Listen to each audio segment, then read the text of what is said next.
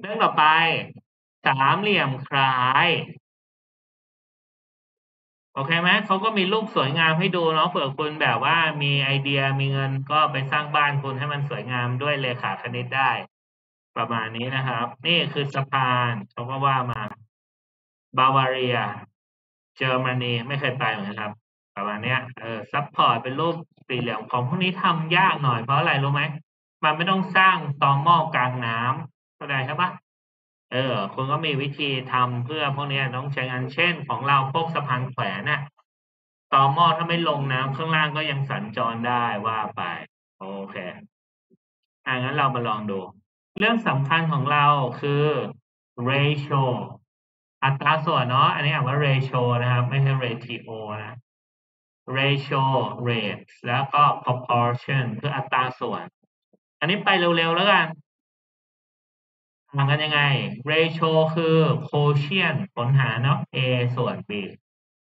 เป็นการเปรียบเทียบระหว่างอะไรบางอย่าง หรือบางทีเขาเรียกว่า a to b a ต่อ b ในภาษาไทยใช่ปะสัญลักษณ์ที่ใช้ คือเป็นรูปจุดๆอะโคลอนโคลอนโอเคไหมโอเค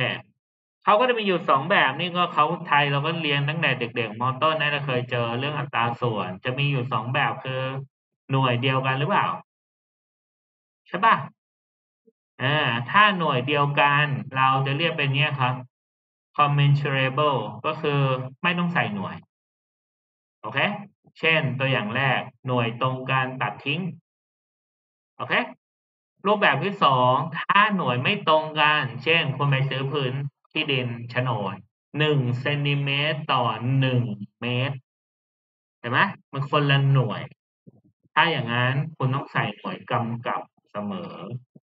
โอเคไหมครับ เป็นไปได้แบบนั้นมีได้หลายแบบ โอเค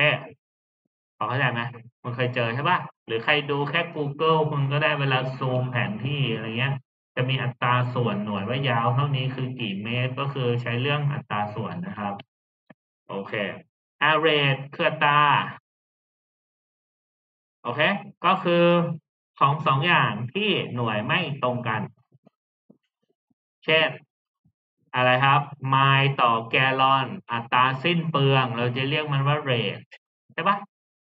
เรทนะครับคุณขับรถมาใช้ห้าร้อยกิโลเมตรต่อน้ำมันสิบลิตร อะไรว่าไปสมมติไม่รู้ อะไรพวกเนี้ย consumption rate อัตราการบริโภค อัตราการใช้ พวกนี้หน่วยจะเป็นสิ่งสำคัญ สังเกตไหมถ้าเป็นหน่วยพวกนี้น้องไมล์ per gallon เมตรต่อวิ โอเค ชาสิบสองช้อนชาต่อน้ำสองควอตหรือเปลี่ยนเป็นลิตรมิลลิลิตรแกลลอนว่าไป โอเค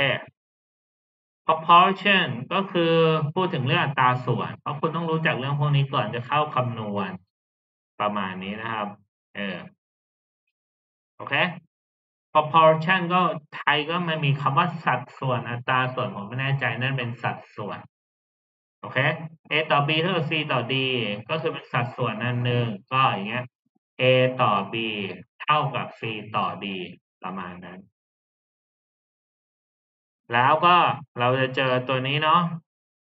ทฤษฎีก็ไม่เชิงครับคุณสมบัติอันหนึ่งถ้าคุณมองดีคือลักษณะคล้ายๆแหละฝุ่นไฟอะไรไหม product of the mean ผลคูณของค่าเฉลี่ยเท่ากับผลคูณของตัวเนี่ย extreme ก็คือสุดๆ โอเค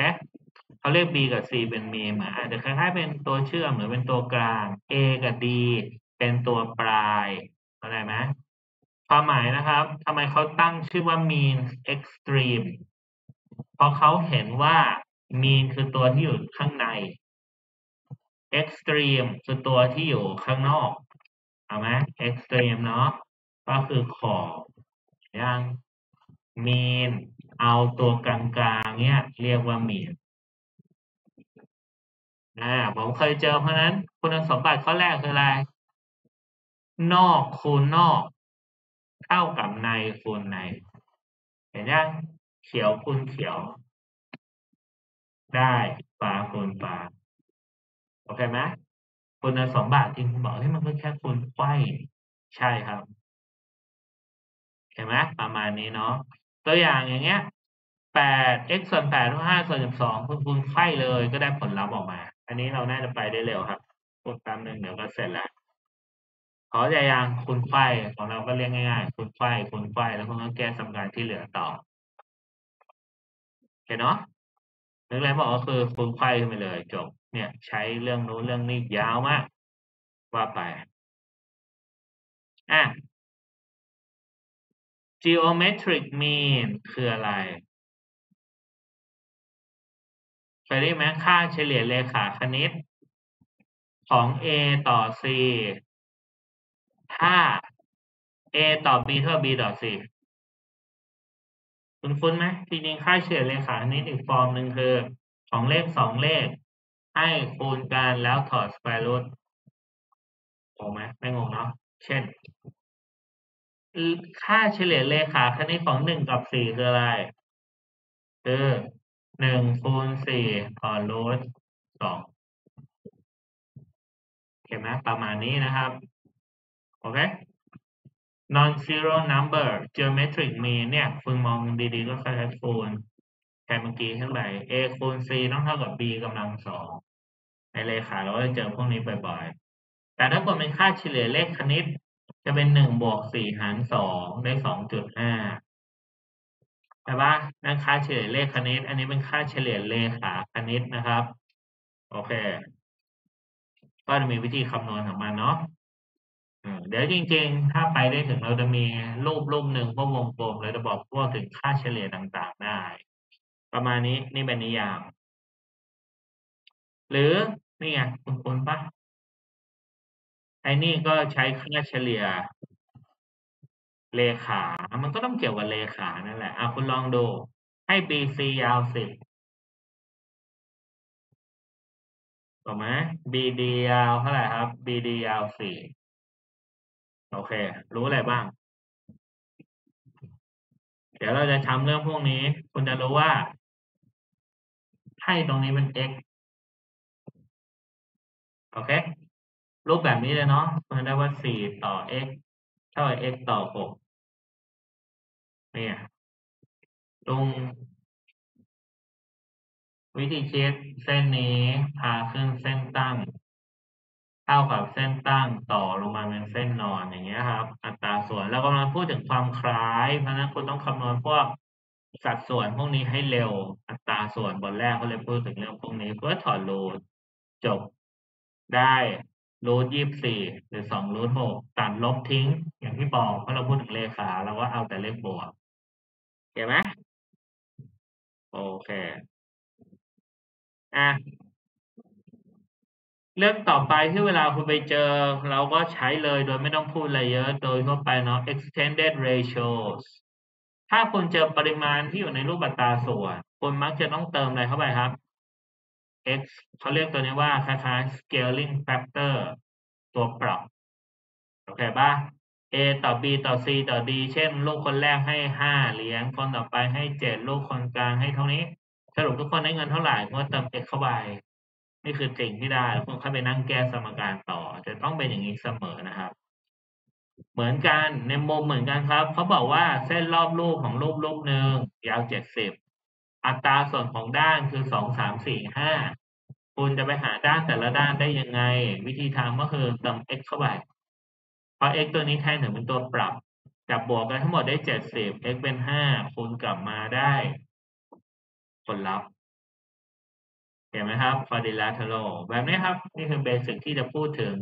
ถ้าใครคล่องเรื่องพวกนี้ก็ไม่น่ามีปัญหา